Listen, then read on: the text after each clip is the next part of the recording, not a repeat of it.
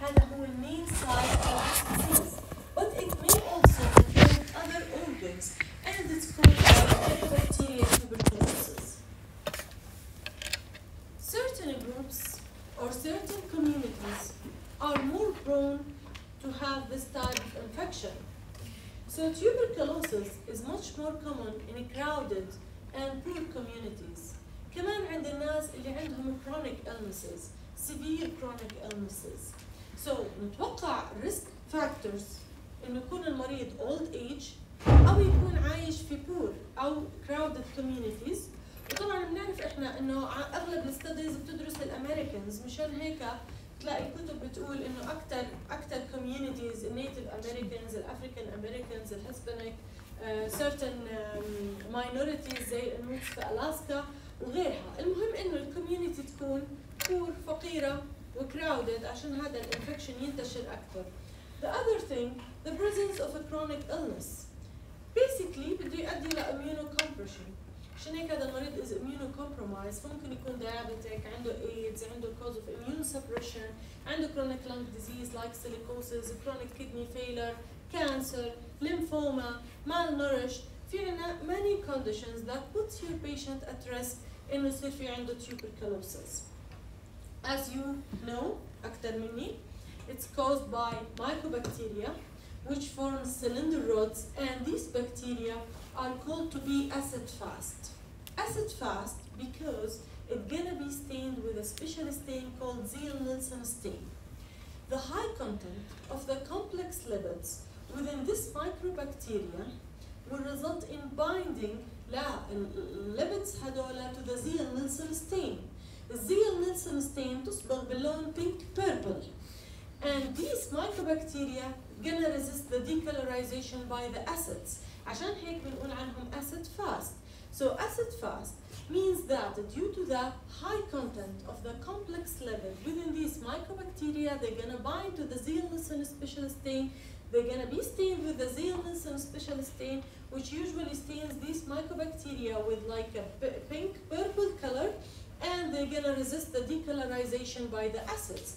So if you have a tissue section that have the mycobacteria and you stain it with the Zeal-Nielsen stain, you're gonna find these cylinder rods that are stained with like a pink purple stain. So هدول هم الميكروبكتيريا.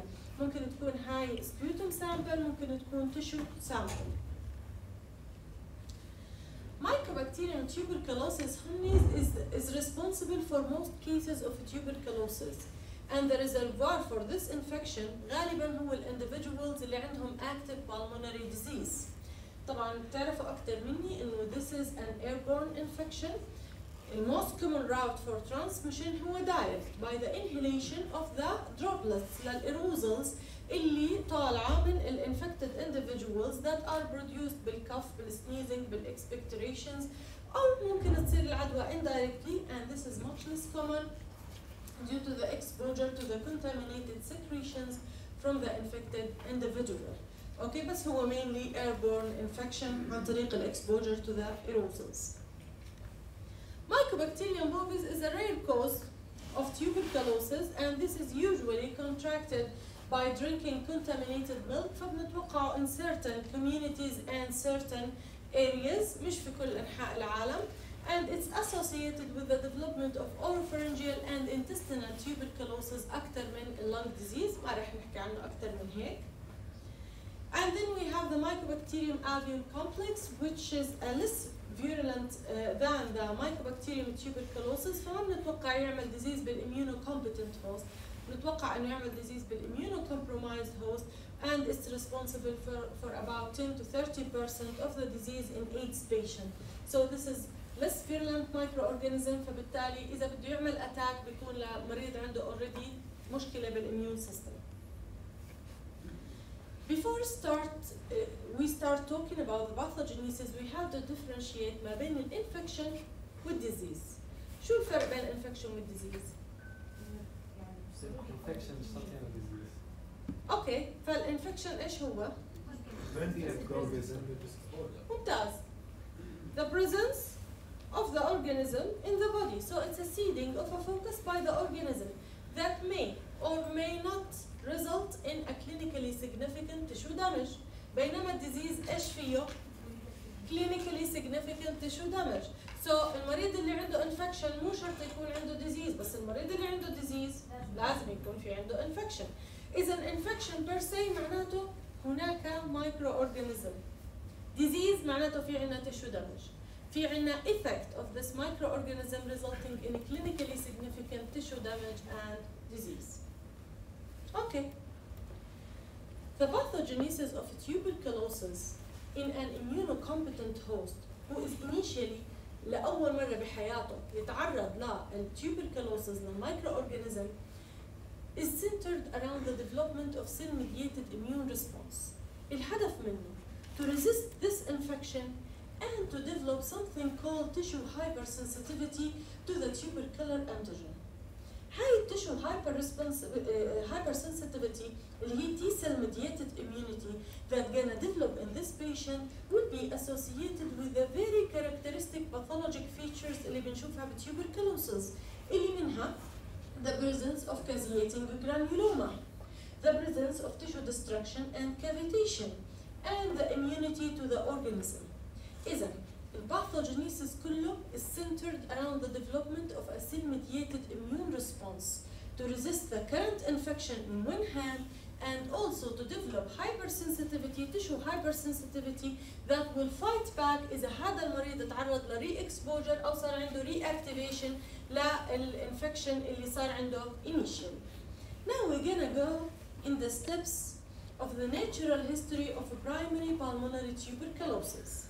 When we say primary pulmonary tuberculosis معناته احنا بنحكي عن initial infection أول مرة يصير هذا الانفكشن in a previously unsensitized immunocompetent host شخص لأول مرة يتعرض للمايكوبكتيريا غالبا هذا طفل أو young okay the first step is the entry of the virulent strain of the mycobacteria into the alveolar macrophages specifically within the phagocytic vacuole or the endosome.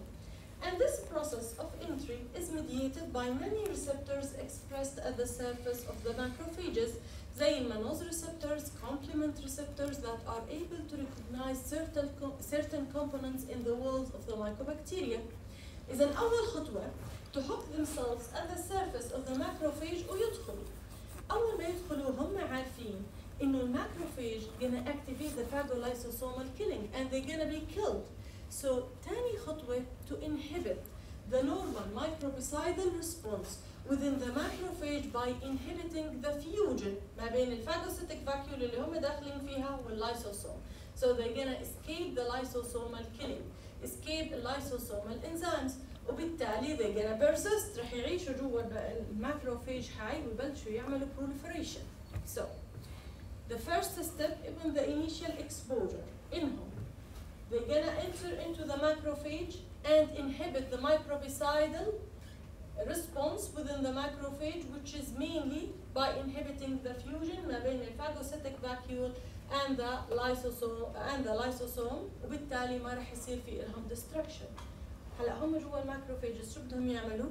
they're gonna persist and start proliferating and some of these cells هنا بيدمج تصور هنا مش رح يطلعوا يعني رح نلاقي ال microorganism هاد جوا ال macrophages وبرا ال macrophages وفي ال air spaces and then it may go through the lymphatics and seed to the adjacent lymph nodes ممكن يروحوا في البلاد ويعملوا بكتيريميا وسيدنج تو ذا تو مالتيبل سايتس But interestingly, at this stage, we, the patient have only infection. Okay? ولسه ما صار في عنده سيل ميديتد immune response. And the patient here is asymptomatic أو عنده mild flu-like symptoms. هذا في أكثر من 95% من المرضى. أقل من 5% they're gonna develop a clinically significant disease. إذا كل اللي شرحناه معناته إنه المريض بس صار عنده infection لسه السيل mediated immune response ما صار. The microorganism just entered into the macrophage stop the uh, phagolysosomal fusion and start proliferating and seeding different sites and area and this can be associated with bacteremia but interestingly ما في عنا lesion او tissue damage associated مع كل هاي البروسيس الاميون سيستم بيقدر انه يوقف هاي البروسيس The next step is the development of cell-mediated immunity. So the next step is the initiation and the consequences of cell-mediated immunity. قلنا المايكوبكتيريا موجودة جوا الماكروفيجز صارت في الالفيولار سبيسز لانه في شيء من هدول الماكروفيجز صار لهم ابوبتوسيس وصار لهم نكروسيس وطلع هذا المايكرو اورجانيزم ممكن تلاقيه في البلاد ستريم ممكن يكون موجود في الليمفاتكس اوكي ممكن في adjacent lymph nodes so we have cells called antigen presenting cells أهمهم الدendritic cells that can recognize the mycobacteria and activate and release interleukin 12 that will activate type 1 T helper lymphocytes. So this gonna initiate a type 1 T helper lymphocytes اللي هو أهم شيء في السيل mediated immunity. شو يعني cell mediated immunity؟ يعني development of type 1 T helper lymphocyte response. مين بيحفزه؟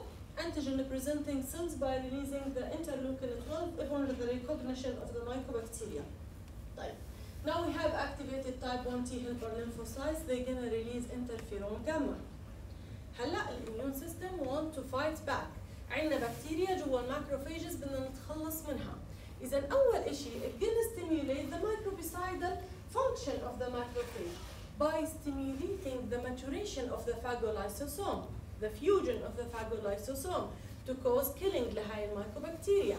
كمان by stimulating the inducible nitric oxide synthase to produce the nitric oxide and the nitrogen intermediates وهدول will add more in the killing للميكوبكتيريا. Another thing is gonna mobilize anti-microbicidal defensine هذا عبارة عن واحد من البيبتايدز اللي كمان بيعمل microbial killing. The other thing it stimulate a process called autophagy أعتقد أخذتوها بمحاضرات السيل injury. This process معناها إنه لما الخلية تعمل destruction and sequestration of abnormal organisms, organelles أو microorganisms that are within the cytoplasm. فهي مش إنه الخلية بتموت، الخلية تتخلص من مكونات abnormal في داخلها. فهاي هي البروسيس، إذا كل هدول اللي شرحناهم رح يؤدوا لمايكوبكتيريال killing. Right? The other thing that interferon gamma will stimulate the activation of the macrophages into epithelioid macrophages or epithelioid histiocytes, and this will help in the granuloma formation.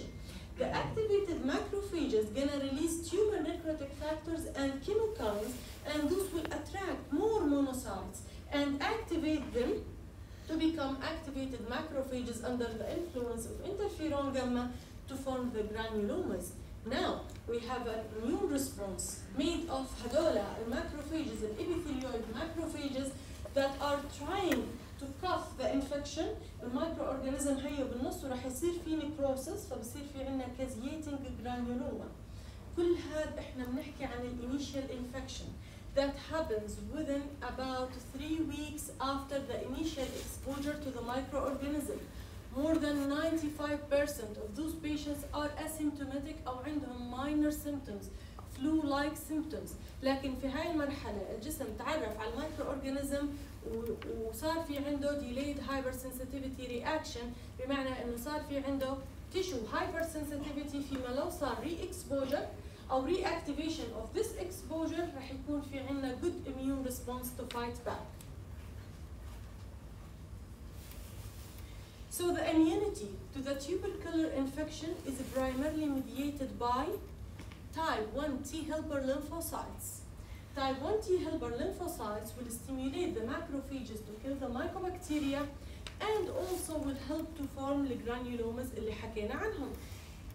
So any defect in this pathway سواء التيومر necrotic factor بالinterferon gamma, interleukin 12, the nitric oxide synthase, any other step في هاي البروسيس معناته رح يصير في عنا poorly formed granulomas there is no good granuloma to contain the infection absence of resistance المريض ما عنده resistance against the infection and disease progression to more aggressive disease مشان هيك قلنا بس 5% ممكن يصير في عندهم فعلا progressive disease upon the initial infection so إذا المريض sensitized يعني إذا المريض تعرض لهذا المايكرو اورجانيزم وصار عنده initial infection the reactivation of the focus of initial infection أو the re-exposure و usually هذا بصير لما ال immunity تنزل بيؤدي rapid mobilization of the defense reaction جسمنا جاهز مستعد لل re-exposure أو ال reactivation فالجسم gonna fight back بس رح يكون في extensive tissue damage أكثر بكثير من اللي كان في ال primary tuberculosis والسبب إنه ال body is ready now وعارف و sensitized previously to those microorganisms فرح يكون في عندنا more tissue reaction As I told you, tuberculosis results in a delayed hypersensitivity reaction that can be detected by a test called the tuberculin or Mantoux test. هذا ال test basically غالبا كلنا عملناه أو رح تعملوه لما بدك تطلع تشتغل بالمستشفى بالامتياز أو ال residency رح تعمل ال PPD test هو عبارة عن intracutaneous injection of 0.1 ملي من ال sterile purified protein derivative. الهدف منه إنه إحنا نعمل injection نحط mark بالقلم حواليها وبنقول لا اللي عملنا له الفحص ارجع بعد 48 ل 72 ساعة. إذا صار في عنده elevation بال skin and induration more than 5 ملم غالبا أكثر من 1 سنتي معناته هذا الشخص previously sensitized to the mycobacteria اوكي اذا نيجاتيف فموست لايكلي هذا الشخص previously unexposed لهاي المايكوبكتيريا لم يتعرض لها اصلا بس التست هاد cannot differentiate اذا الشخص عنده infection or disease because it can only detect that your body have the delayed hypersensitivity reaction والدليل انه خلال 48 ساعه صار عنده induration and swelling about 1 سنتيمتر او اكثر وبالتالي هذا بدل انه الجسم sensitized لكن ما بيميز بين انه عنده infection او disease you're gonna go with other modalities وclinical و other things حتى تعرف هو disease ولا infection. So this takes us to talk about something called primary tuberculosis which happens upon the initial exposure in a previously unexposed, unsensitized individual who is immunocompetent and the secondary tuberculosis that happens upon the reactivation of a previous infection or the re-exposure. فخلينا نحكي عن primary tuberculosis. This form of the disease developed in a previously unexposed or unsensitized patient. أكثر من 95% this disease is asymptomatic, Self-limited disease. أقل من 5% اللي بصير عندهم clinically significant signs and symptoms that may involve fever, pleural effusion لكن mainly is a self-limited asymptomatic focus of pulmonary infection. طيب شو بيكون عند المريض basically؟ بيكون في عنده lung lesion بنسميه fibrocalcific nodule هاي الفايبروكالسيفيك نوديول واحد سنتي أو واحد ونص هاي ال fibrocalcific nodule هي ال caseating granuloma اللي حكينا عنها ووصفناها. وبيكون فيها viable organisms that may stay there, there for years. لكن هم they are like um, uh, حواليهم زي كأنه بدكم تقولوا سور من ال macrophages بيمنع انتقالهم وانتشارهم في الجسم. في هاي المرحلة المريض عنده infection لكن ما عنده disease وبالتالي المريض في مرحلة ال primary tuberculosis بعدي ولا ما بعدي؟ ما بعدي ليش؟ ال disease كلياته موجود في focus واحد لواحد ونص سنتيمتر محاوط بال macrophages هدول ال microorganisms وبعدين حيصير حواليهم scarring and fibrosis. So your patient have infection but he does not have any clinically significant disease. ما هو لو بعدي مشكلة. okay so إذا ال immune defenses صار فيهم مشكلة ال immunity نزلت عند هذا المريض. حتى لو بياخذ ادويه مثلا بتنزل ال immunity أو صار عنده اي disease أو صار عنده re-exposure هدول ال viable organisms gonna be activated and result in a disease okay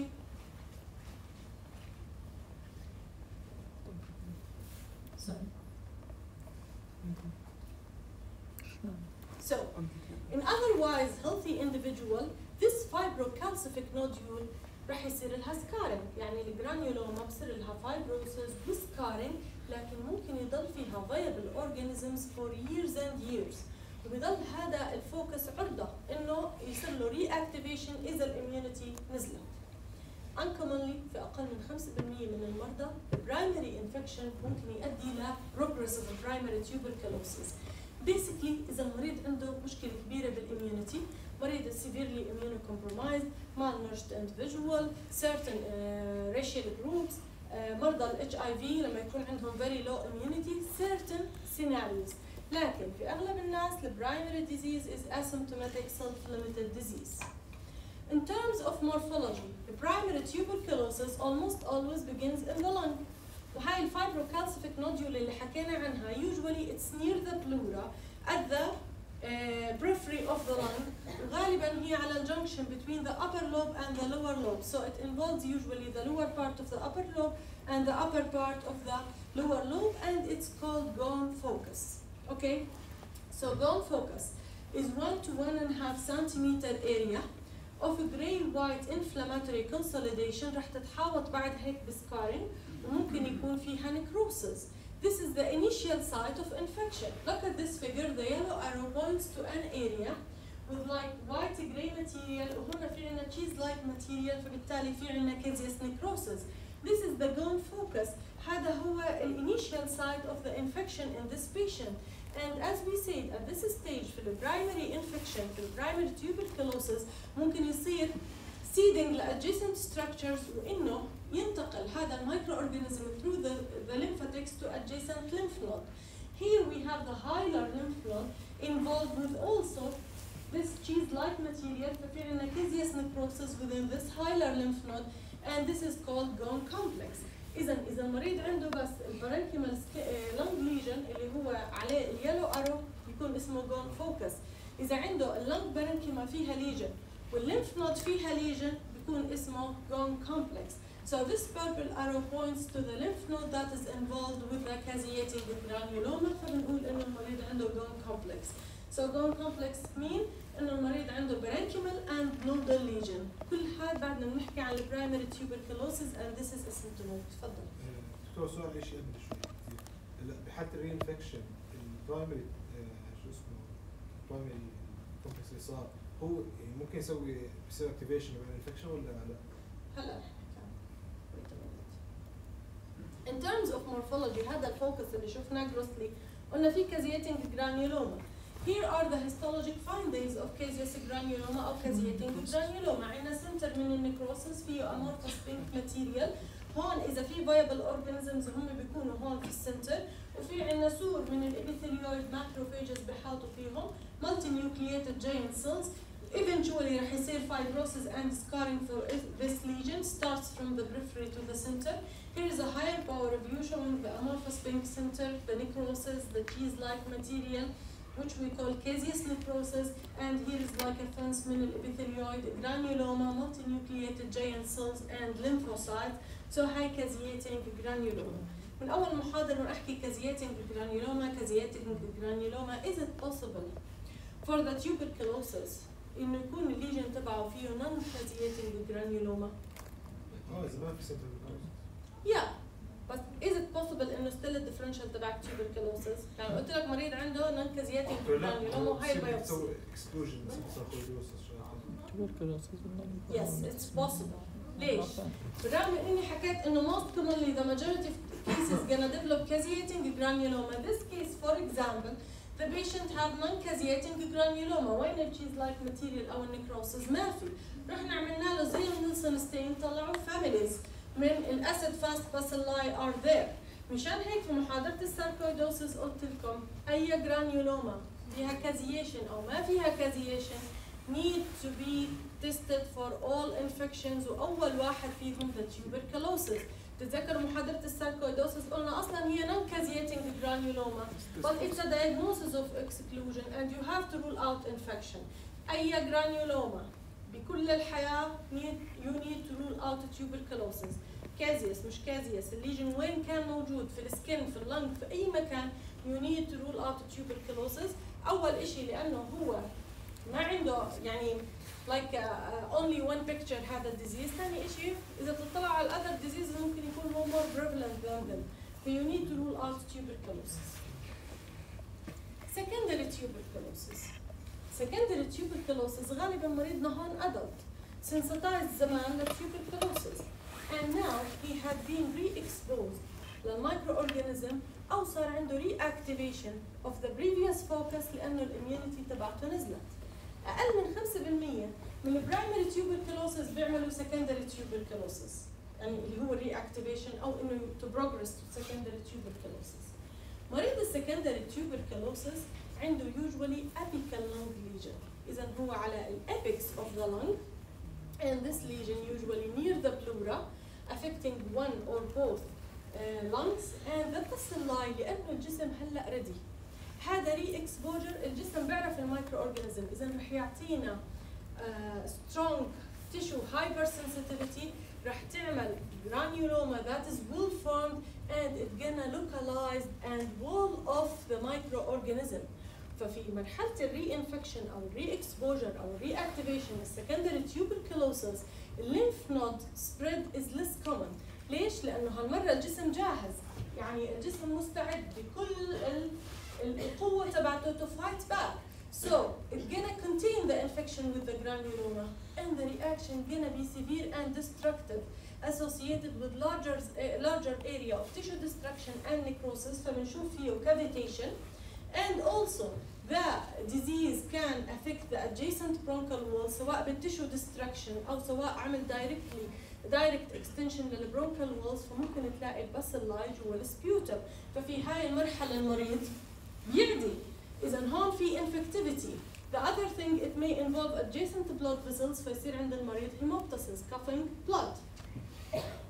In terms of morphology حكينا lesion usually near the lung apex near the pleura small lesion بيكون sharply circumscribed white gray yellow in color فيه caseous necrosis حواليه fibrosis نفس الكازياتنج granuloma في البرايمري infection لكن ال location هنا هو المختلف إذا عملنا ZN stain رح نلاقي فيها ال microorganism شو رح يصير لهاي ال localized apical secondary pulmonary tuberculosis إما بصير لها healing with fibrosis سواء spontaneously أو with treatment أو إنه it may progress and proceed in different pathways واحد منهم إنه ال microorganisms to move in the into the bloodstream recirculate and go back resulting in miliary pulmonary disease. هالمرة مش عندنا single lesion في اللنج apex هلا عندنا seeding of the lung seeding of the lung with minute lesions أكبر واحد فيهم مش أكبر من 2 ملم بيشبهوا الميلت seeds نوع من البذور لونها أصفر فبتلاقي اللون كلها seeded with this uh, granulomatous lesions أو tubercles إذا ممكن يصير عندنا miliary pulmonary tuberculosis وممكن يروح في systemic circulation to involve other organs هذا بنسميه systemic miliary tuberculosis when the organism disseminates through the blood into the body. The most common involved organs and any organ can be involved are the liver, bone marrow, spleen, adrenal gland, meninges, testicular tissues, kidneys, fallopian tubes, etc. نطلع هون في عنا section في السبلين شايفين هاي النقط اللي لونها white gray all these are granulomas ففي عنا seeding زي البذور عبت هاي ال spleen كل هدول tubercles كل هدول lesions of tuberculosis دكتور بصير كمان ال large عفوا بصير السكين ال large كمان It could be. طيب شو ال clinical features of secondary tuberculosis؟ The primary قلنا asymptomatic flu-like symptoms أقل من 5% يكون عنده significant symptoms. طيب secondary tuberculosis إذا كان ال disease localized وال immune system حاوط هدول ال bacilli ب granuloma حواليهم ممكن يكون مريض asymptomatic أو عنده mild symptoms. لكن غالبا عنده systemic manifestations لأنه عنده severe tissue hypersensitivity وال macrophages قاعدين بعطوا uh, inflammatory mediators منهم tumor necrotic factor and interleukin 1 فبنتوقع إنه المريض يصير في عنده anorexia malaise اللي هم systemic manifestations لهدول الديزيزز weight loss fever usually low grade and happens at night. البالمونري manifestations تعتمد على الاكستنت of the disease. في البداية المريض بيكون عنده cough with sputum that is mucol. later on ممكن يكون في infection أكثر ويصير purulent هذا السبيوتم. ممكن يصير عنده hemoptysis if the disease involved the blood vessels. إذا disease um, involves the pleura بصير عنده pleuritic pain. حكينا رح يكون عنده extensive necrosis إذا صار في cavitation و necrosis وهذا ال microorganism طلع في ال airways ممكن يؤدي لإنه ال sputum يكون فيه ال bacilli وفي هاي المرحلة المريض بيعدي. طبعا ال extrapulmonary manifestation تعتمد على ال organ liver bone marrow whatever organ رح يكون في عندنا presentation. كيف بنشخص ال tuberculosis؟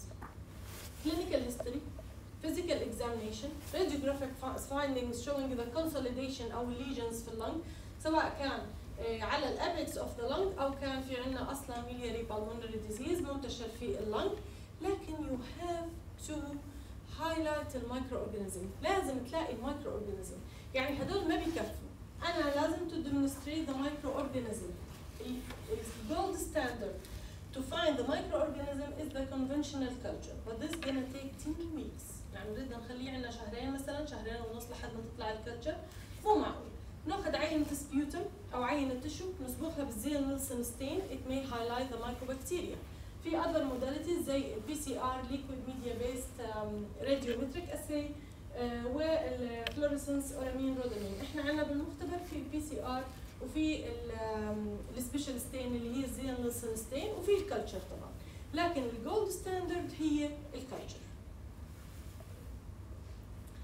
The prognosis determined first by the extent of the infection هل هو في ال lung لحالها focus واحد multiple foci في ال body كله بيحدد ال outcome The immune status of the host افرض المريض أصلا عنده genetic abnormality affecting the interferon gamma أو tumor necrotic factor اللي هو أصلا the major component in the immune response معناته الاوتكم رح يكون اصعب من مريض ثاني عنده شيء أقل severity The antibiotic sensitivity of the organism we usually do antibiotic sensitivity test لأي مريض عنده infection فإذا كان هذا المايكرو اورجانيزم is resistant لأغلب الانتيبيوتكس رح يخلي treatment difficult وبالتالي البروجنوسيس is um, worse.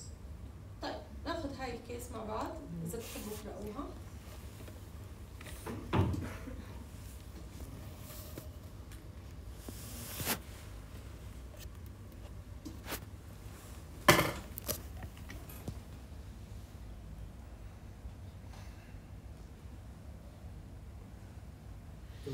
adjudications were less severe.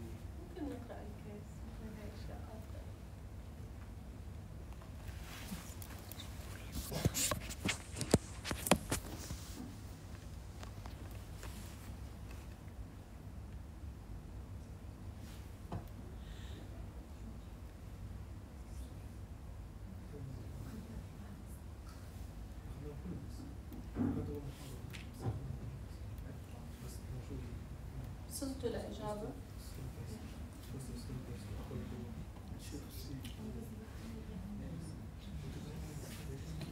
طيب. We have a 45 year old lady.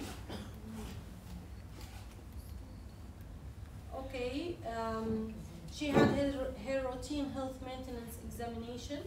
على الفيزيكال اكزام ما كان عندها اي remarkable findings. البادي um, البادي ماس اندكس 22 نورمال بين 18 و 25 so الويت تبعها is okay. She does not smoke. Uh, tuberculin skin test is positive. Chest radiograph shows a solitary 3 cm upper lobe mass without calcification. The mass is removed by thoracotomy by wedge resection. The microscopic appearance of the lesion is shown in this figure. شو عنا؟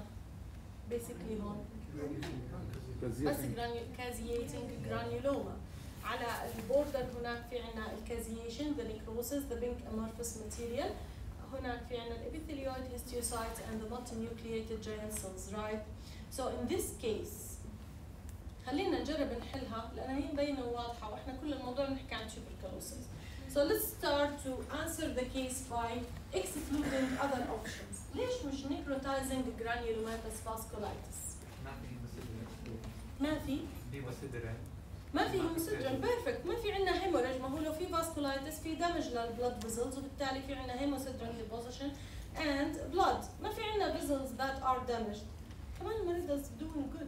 المريضة ما عندها أي signs أو symptoms هاي مريضة رايحة تعمل check up مريض عنده necrotizing granulomatous vasculitis بيكون في ال floor يعني بيكون admitted على ال hospital فبيكون عندها symptoms signs لل disease طيب ليش مش poorly differentiated adenocarcinoma وقبل ما تجاوبوا قبل ما تجاوبوا ال adenocarcinoma can be associated with caseating granuloma عندك جنبها يعني ما في ما في آه، طب لحظة وين بدك تشوف ال invasion؟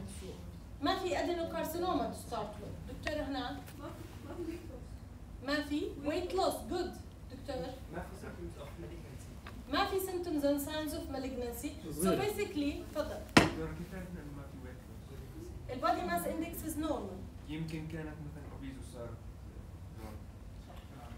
المريض ال non-smoker آه. ضل يحلف ويمين. المريض ال non-smoker عنده tuberculin test is positive ال body mass index is 22 أنا لو حطيت هاي الصورة وحطيت لك جنبها شوية malignant cells معك كل الحق. بس معقول بدنا نورجيك صورة representative لل lesion؟ ونعمل ال focus على بس ال granuloma اللي جنب ال lesion يعني إنه لا مش هيك. ف for this case. طيب third option abscess. ليش مش abscess؟ ما في ما في pus perfect ما في pus ما في neutrophils في عندنا granuloma بس ما في neutrophils في مريض عنده abscess بيكون قاعد في بيتهم مبسوط ما عنده ولا signs ولا symptoms ولا systemic manifestations okay ليش مش thromboembolism and infarction ما في signs and symptoms ما في blood vessel فيه thrombus ما في tissue necrosis إحنا شايفين ال necrosis جوا granuloma مش إنه ال tissue نفسه صار له necrosis Perfect. So your best answer for this case is? Good. يعطيكم العافية. و